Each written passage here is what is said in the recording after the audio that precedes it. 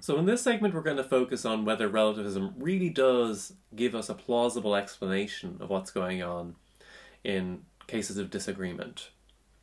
And the way that we're going to do this is we're going to focus on first distinguishing the notion of an assertion being true or the proposition asserted being true from a correct assertion or from the idea that something was asserted correctly.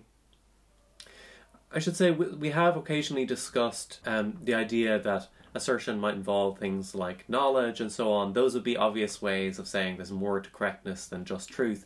But we're going to go and sort of set those aside for the moment and just sort of think in terms of not correctness, not in terms of the epistemic status of the person making it, but just sort of the objective status of the assertion itself. Now, that might seem kind of paradoxical at first when you think about it, because you might think, well, what is there to the objective status of an assertion beyond just whether the proposition asserted is true or not? And that's a natural thing to say when you're, for instance, in a contextualist framework or you're in a normal way, you have normal ways of thinking about propositions. However, once we start introducing the notion that propositions are true or false relative to different things, like maybe times and context of assessment, it looks like we can actually distinguish the question of whether the proposition is true from the question of whether the assertion is correct. These, there's actually an independent notion of correctness that we can think about.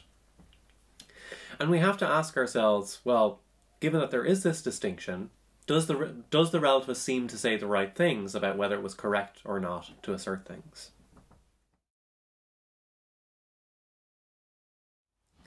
So the best way to try to distinguish between these ideas of truth and correctness is to go back to our temporal example again. So here you'll see that the time we spent on it last week is not necessarily going to be time badly spent.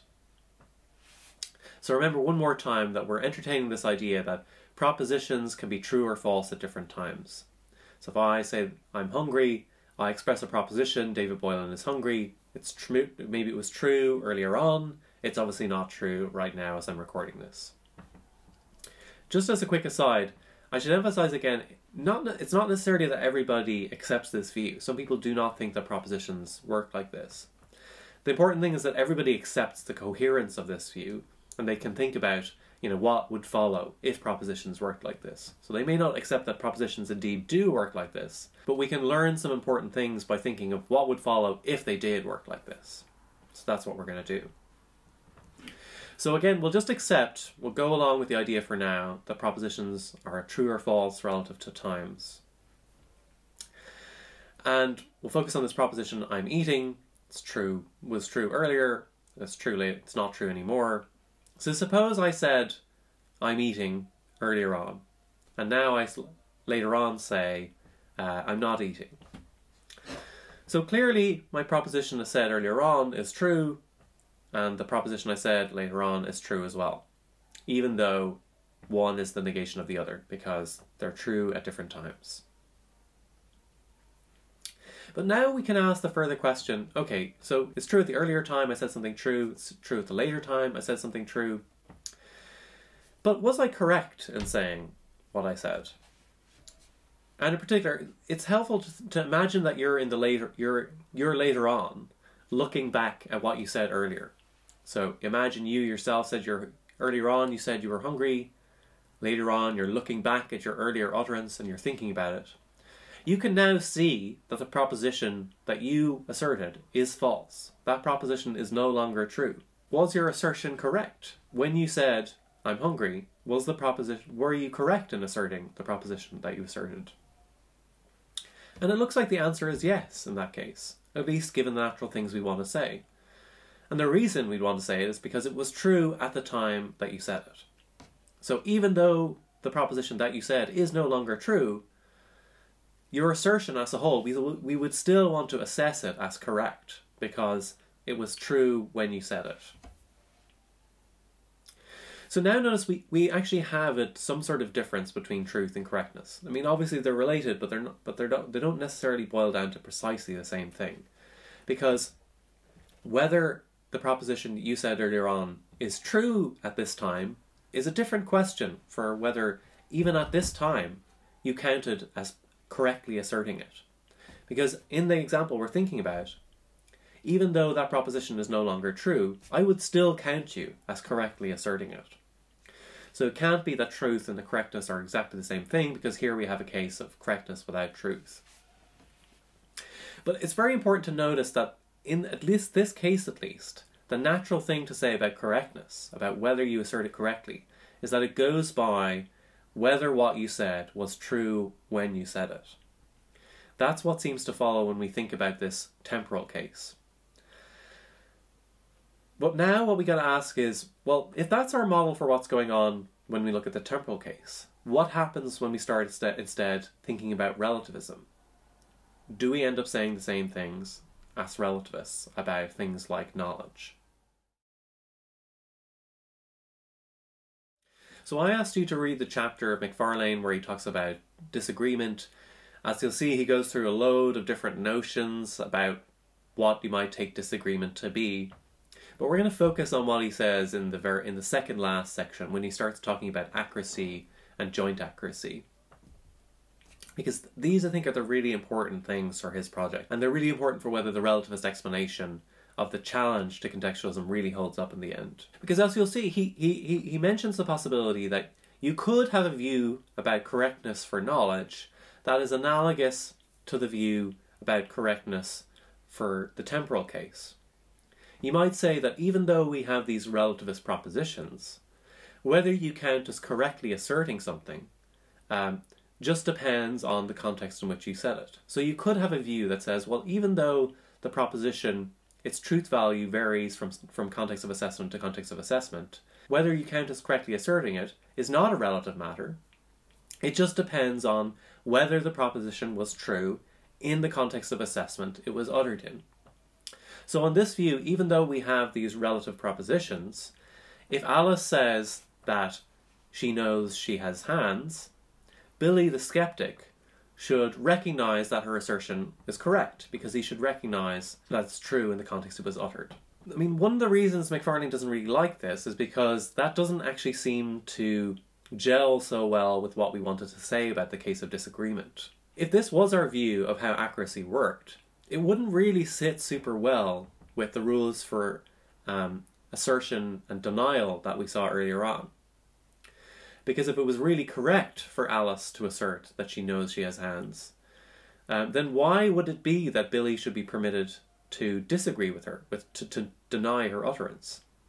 Because if her assertion was correct, you know, shouldn't he just sort of go along with it? So rather, what MacFarlane wants to say is that well, whatever is happening in the temporal case, accuracy for assertions about knowledge is different. Here, accuracy or correctness is a relative matter whether you can be correctly asserted to say something goes by the context in which your assertion is being assessed. So if I'm the one saying, I know I have hands and I have low standards, then just as the assertion is true in my context, it will also count as correct in my context. However, for Billy the skeptic, when Billy the skeptic is assessing what I've said and saying I know I have hands, he will think that not only is it false, but also it's incorrect because it's not true in his context of assessment. So MacFarlane wants to say that when it comes to knowledge, the way that we should understand accuracy is different. We shouldn't understand accuracy or correctness in terms of whether it was true in the context it was said, in the context of assessment it was said. Unlike the temporal case, we should assert whether an assertion was correct by going by its truth value in our context rather than the context in which it was said.